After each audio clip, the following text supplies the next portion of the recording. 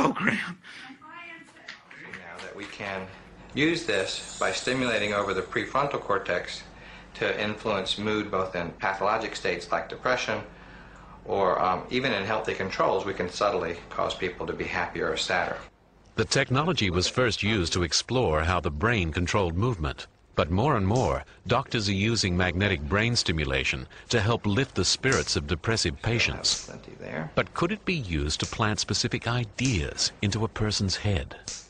What we're doing is we are uh, either heightening or diminishing regional activity in our, in our brains, and our brains obviously have mechanisms to regulate moods, just as we regulate our heart rate or other things. And what we're beginning to do is to be able to use this to understand those regulatory systems and kind of push them one way or another. But what about the possibility of reading people's thoughts? Using brain imaging tools, doctors can observe the brain activity associated with specific thoughts or behaviors. It would be possible to not only read the emotional states, but perhaps to induce the emotional states by turning on or off certain regions and then also taking a picture. So uh, although we don't have the ability right now to take a map of the brain and say what, whether someone's happy or sad or angry, um, that's not far away, I don't think.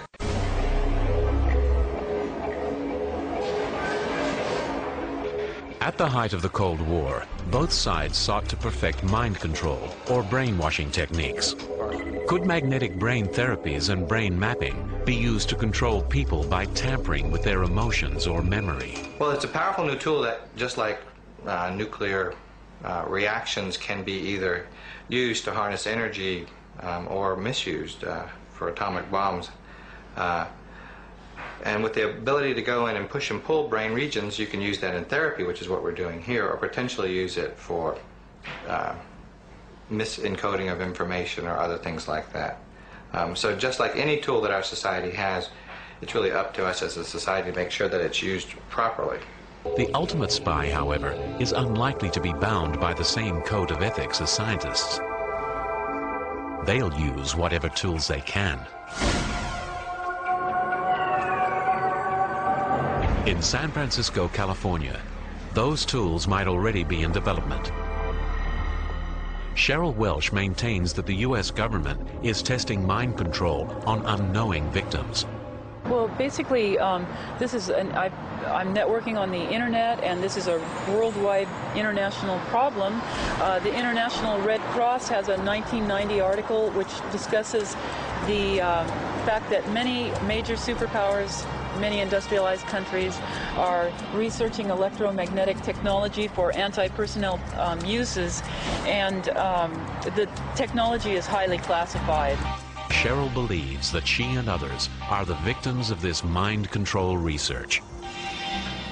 Many of the victims that I network with describe hearing voices and um, microwave illness, where, where they have uh, headaches, uh, just generally sleep disturbances, uh, sunburns, even though it's at night, just microwave effects.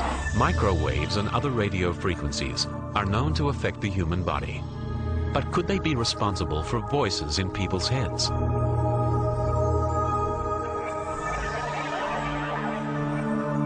In Chicago, Illinois, a world authority on microwave hearing shows how it could work.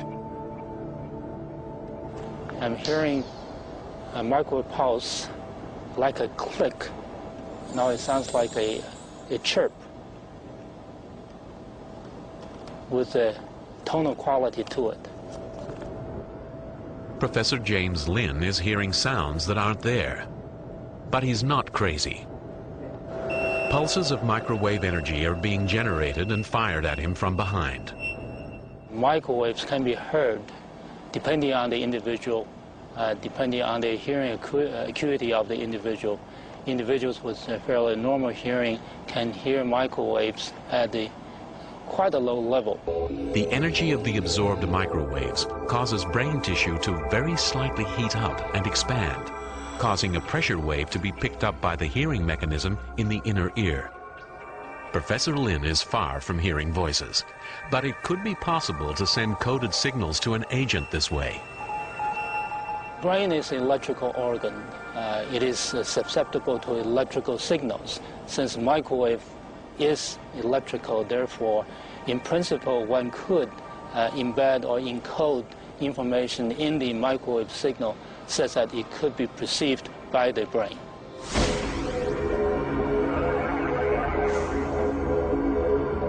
It may be some time before we can control someone's thoughts, but we could influence them, perhaps even send secret instructions at a distance.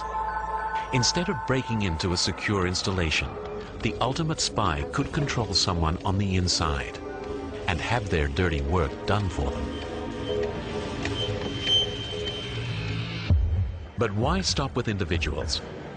If the ultimate goal of the ultimate spy is ultimate power, could whole populations be controlled? The answer is frightening.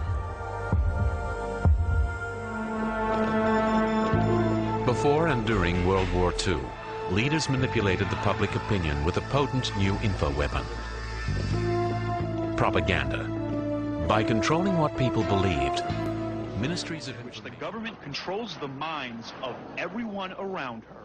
Wherever I go about in my day, people will spit, swear, blow smoke in my face, basically a hundred insults a day. You know, and The purpose, it- it- Cheryl says, is to observe how she reacts so the government can study her mind and eventually use the same technology to control the minds of America's enemies.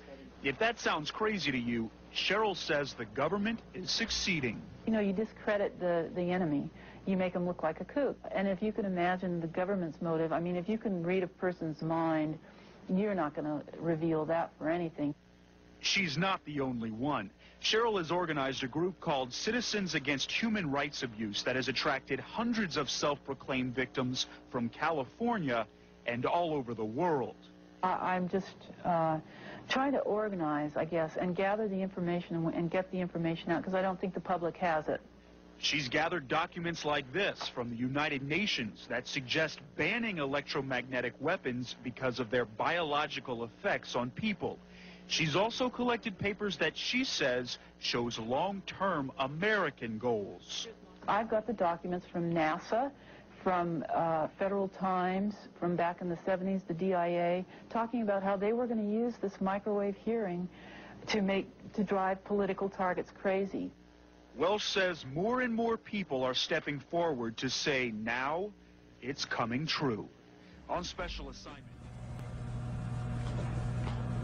Some of the experiences are voice to skull, where voices are transmitted to a person from a distance, remote viewing, where a person can be watched in their homes or picked out of a crowd, shocks given to the body, paralyzation of the body, levitation of body parts, gang stalking, where people are followed around,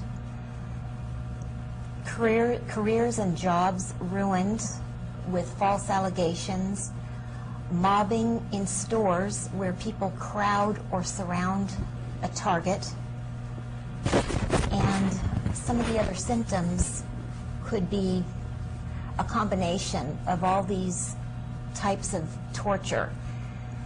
A lot of these symptoms are mischaracterized as being mental illness.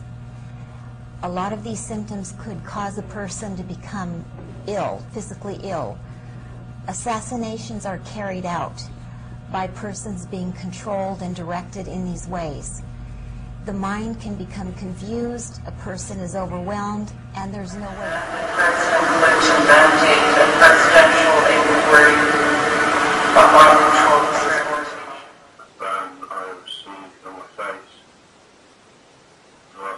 Say, I've spoken to probably 3,000 people. Um, he's on probably 1,500. He's on 5,000. There's a lot of us across the U.S.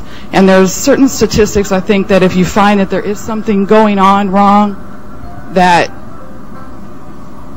that you're going on wrong, that you got that somewhere along the line somebody has to do an investigation. There's a certain percentage of illness. Um, you do a, an investigation. If there's a certain amount of cancers in an area, same as uh, Brockovich went and did the investigation, she found a certain amount. Well, we're presenting our case right now. You said you guys wanted to be in the know. We're giving you the information now so that you are in the know. There is something going on.